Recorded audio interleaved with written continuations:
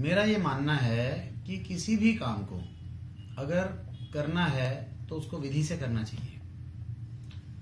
अगर हम अनुशासन या क्वालिटी ऑफ़ डिसिप्लिन की बात करें तो देश में सबसे ज़्यादा अनुशासन आज भी आर्मी में माना जाता है। और वहाँ उनका ये कहना है कि किसी भी काम को करना है तो ढंग से कर, नहीं तो ना कर।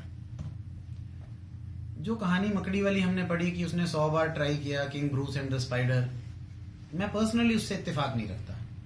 आप सौ नहीं, एक लाख बार ट्राई कर लो, गलत प्रोसेस से काम करके हम एक चाय भी नहीं बना सकते। आप इसको यूँ लो कि गलत प्रोसेस से काम करना या कम काम करना। दोनों में से अगर एक चीज़ चुननी हो तो कम काम कर लो। जितना करो, विधि से करो। अगर विधि से नहीं करेंगे तो चाय भी नहीं बना सकते।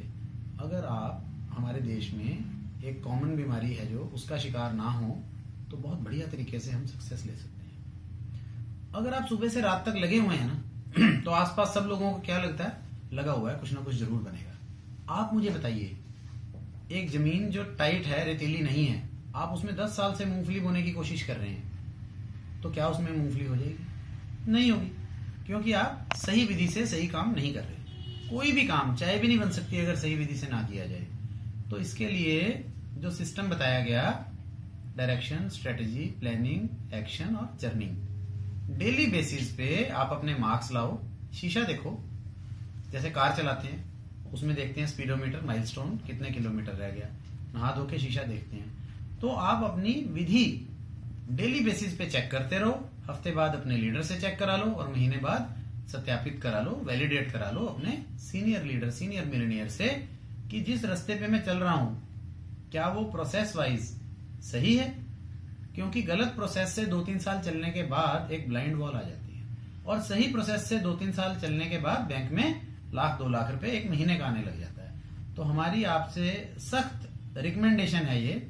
डायरेक्शन है। आदेश तो मैं नहीं दे सकता। निर्देश है कि जितना भी करना है, सही विधि से करो ताकि आगे जाओ। ऐसा ना हो कि पीछे आ जाओ। तो उसके लिए सही सिस्टम को समझो।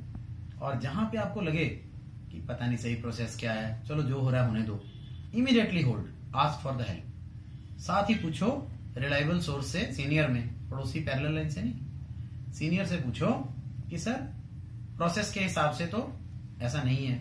मैं अपने हिसाब से कुछ भी कर दूँ या सही प्रोसेस बताओ छोटा सा स्टैंडर्ड एग्ज़ाम्पल अगर झाग नहीं बनी तो हम कहे नहीं बनी नहीं बनी, चलो ब्लेड तो चलाओ।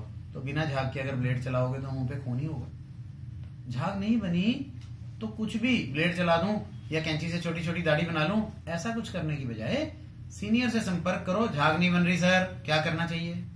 वहाँ तसल्ली नहीं हुई तो उससे ऊपर सीनियर के पास जाओ। कुछ भी करो, प्रोसेस से इधर उधर नहीं जाना। अगर सक्सेस पानी है तो। दिस इज़ वेरी सिंपल और इसकी चाबी एक ही है। Develop the ability to ask for help जहाँ पे प्रोसेस मैच नहीं हो रहा इमीडिएटली हेल्प लेने की आदत बनाओ, ना कि अपने हिसाब से कुछ और करें